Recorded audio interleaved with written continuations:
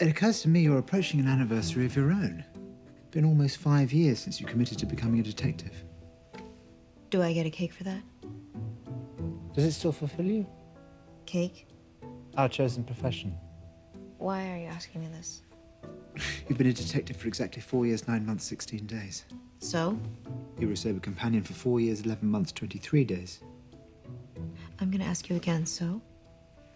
This is your third career. You stopped being a surgeon for personal reasons. You stopped being a sober companion because something better came along. It just, just seemed a prudent time to ask whether your wanderlust had subsided. As a matter of fact, you're right.